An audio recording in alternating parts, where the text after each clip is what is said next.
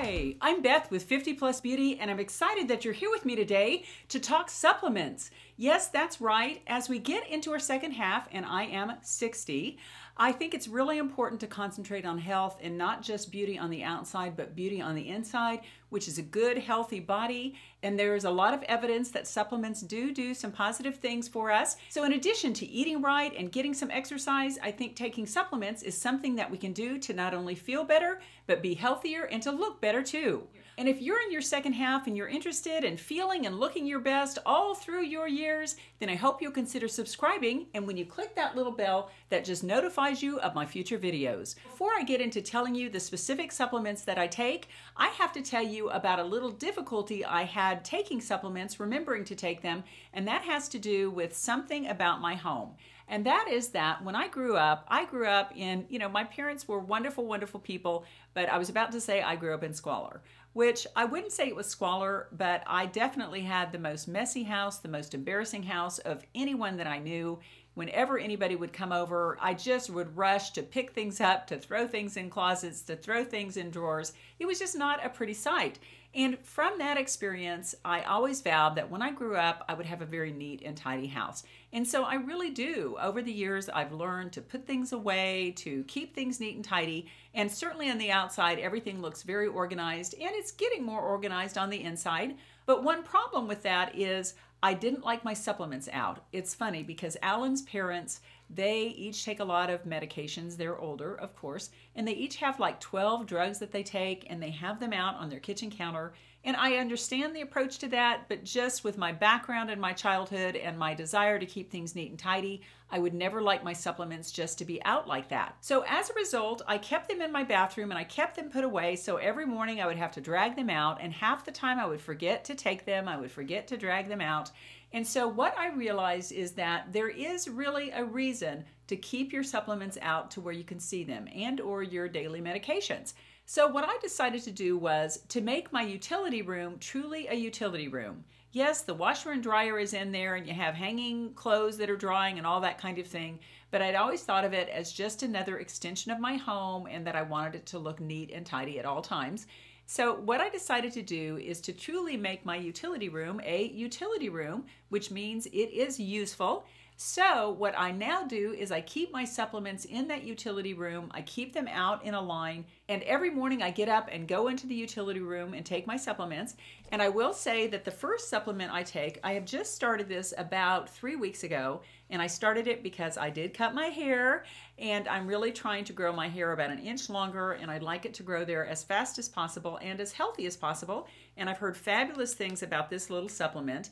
This is the Vital Proteins Collagen Peptides supplement and I will be doing a video after about 90 days showing you my skin and hair results using this. Hopefully there will be some results. But basically what I do every morning, and I get up around 5 o'clock in the morning because I like to have an hour to do my prayers, my meditation, uh, my positive affirmations. I like to spend about 20 minutes on the elliptical, a little bit of yoga. I just like that hour all to myself. And this is the little cup that I use every morning to get my coffee. I have several of these with a little door on them. I really like those. But what I do is in my first cup of coffee, I just go ahead and put this little supplement in there.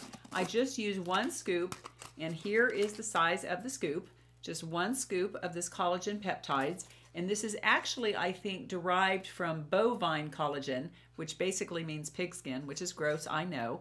But I do take that first. And then I get a big glass of filtered water. I don't have the glass right there. For some reason, I'm acting like I do. But I get a big glass of filtered water and then I take it into the utility room and I take my supplements. Okay, I keep my supplements in the utility room. So I've got all my, uh, my clothes hanging to dry there and there's the washer and dryer. And basically, I have decided that instead of trying to make my utility room beautiful, I will use it, as the name implies, as a utility room. And so I thought that was a great place to keep my supplements. I do love this little Hobby Lobby sign that I have. Always be honest, be kind, keep your promises, smile, say please and thank you, be grateful, laugh, share, do your best, work hard, forgive and forget, love, be happy, say your prayers, certainly true, show grace, speak truth. I, I always love words. But this is where I keep my vitamins and I keep them out. I didn't used to keep them out and so I would never see them and I would never take them. It was very, very hard to get in the habit of taking vitamins. And so this is a look at my supplements that I do take. The first is that I take three Brazil nuts every day. And the reason for that is because I have a rather large nodule on my thyroid and the doctors are watching it for six months. And I really don't want to have another surgery on my face because as you know, I had the Mohs surgery under my eyes and that's been not fun to get through. So I really don't want to have another incision on my neck. So I'm hoping that I can avoid that by taking Brazil nuts. And then also the sea kelp is something that is supposed to really help your thyroid. So that's why I take that. This is a look at all the supplements that I take every day. There is a probiotic, and you know what that's for, girls. Uh, D3, which everybody needs vitamin D3. It's the latest fad vitamin, but they say it does about everything in your body. Then I take a general women's multivitamin. Again, I take the sea kelp, which is for my thyroid. And then this is the BioCell, and I've been taking this and I'm doing a future video about the effect on my hair of really taking collagen. This is the BioCell Hair, Skin, and Nails, reduces fine lines and wrinkles, thickens and strengthens hair, and strengthens nails. And everybody at my health food store totally swears by that. And then I just have another little biotin that I'm taking one of those a day. The, the dosage there was two, but I want to get rid of that one, so I'm using that one.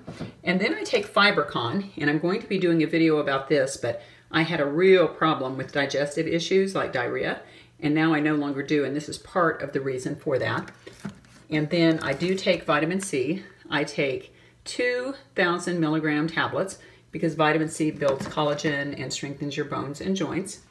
And so that's basically what I do. And because I have the FiberCon here, every morning I take all of this with a full glass of water because the FiberCon needs that, that um, fiber needs that glass of water. Well, so that was a look at the supplements that I'm taking every day currently. And if you have supplements that you take and you'd like to share how it makes you look or feel better or gives you better health, then I hope you'll share that information below. And if you're interested in seeing how my 90 day test of these vital proteins, collagen, peptides work, if it really does help my hair, skin, and nails, then I hope you'll subscribe and click that little bell that will just notify you of that video and all my future anti-aging videos. Okay, at this okay. point in the video, I always like to do a little thought for the day. And as you can tell, I have my friend Missy here, which is unusual.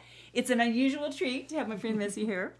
And anyway, I thought about a thought for the day about the importance of maintaining old friendships. And the reason I brought Missy here is well, number one, she came into town and we had lunch together and had some fun today. But number two, she got together our junior high school class reunion of 10 women. We went to an inn in Kansas City and had a blast. And I just think that's important to keep up friendships. And so that's the thought for the day is really keeping up old friendships, reaching out to people. So Missy, what prompted you to reach out to all of us? Well, we were all so very, very fortunate as kids. Yes, and, we were. And we were all really close and we had birthdays one right after another. We did. So here we all turned 60. Ah! And I felt like that should be celebrated. Absolutely. So Absolutely. It was easy. It just everyone was was so into it yes. that it made it very easy and we just had the most special time. Absolutely we did. And how very fortunate and blessed we were that we were so close then and that we could come together, you know, 40 years yeah. later yeah. and and still be close. And so, and it was really amazing. And I guess my thought for the day is what would you say to the women out there if they have old friends that they haven't been in contact with a long time? Because most of us hadn't been, all 10 of us hadn't been really. What would you say to them? Reach out. Don't be afraid. They probably will be thrilled and surprised to hear from you. And what a gift, especially this time of year. Absolutely. This is the time of year to reach out to friends especially good old friends. and with that, I guess that's our thought for the day, and it's a pretty valuable one to think about your old friends, appreciate them, and to reach out. Take care. See you next time. Bye.